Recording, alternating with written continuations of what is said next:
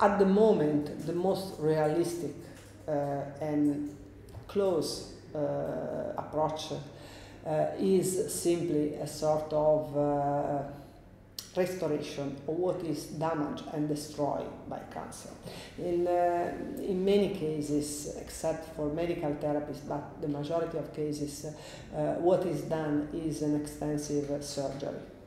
And uh, in some cases, a big part of the body is removed, some important part of the body is removed because of surgery to remove the cancer and possibly surrounding tissues. What uh, the regenerative medicine can do for sure now is try to rebuild what was removed from the body with normal cells, trying to restore the quality of life of those patients. Because living with big damage, with alteration in uh, the face, in the function of the body, can be unpleasant after cancer. So try to restore the function. This is the most realistic. Then, of course, uh, I mean, science is open and we can find, uh, hopefully, many other opportunities to be useful to the people.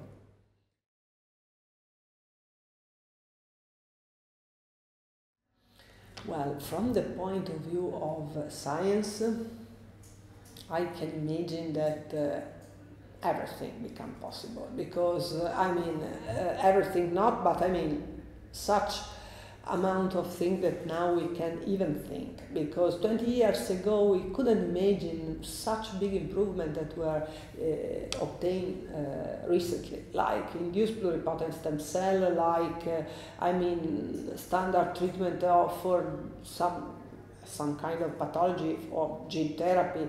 Or i mean how can i say microRNA or i mean many kind of technology where absolutely far from our mind 20 years ago.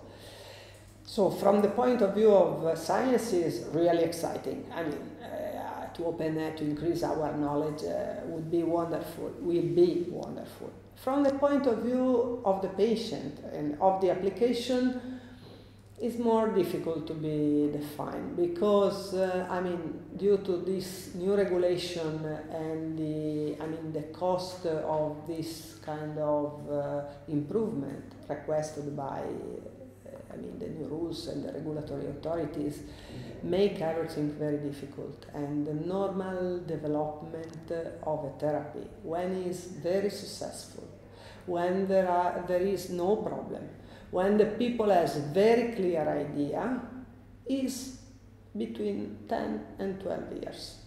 So a new therapy, uh, if is the proof of principle uh, is given now, will be available for the patient later than uh, 10 years from now. So we cannot imagine uh, from the therapeutic point of view a big, big, big improve, some improvement for sure, but not so much because I mean the time for developing this kind of treatment is very long.